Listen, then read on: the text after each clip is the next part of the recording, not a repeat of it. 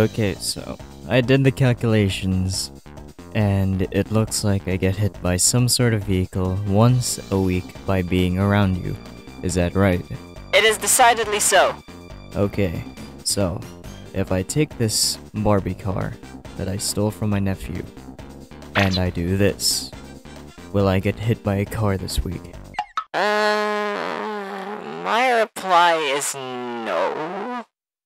Saved, holy fuck. But how is that possible?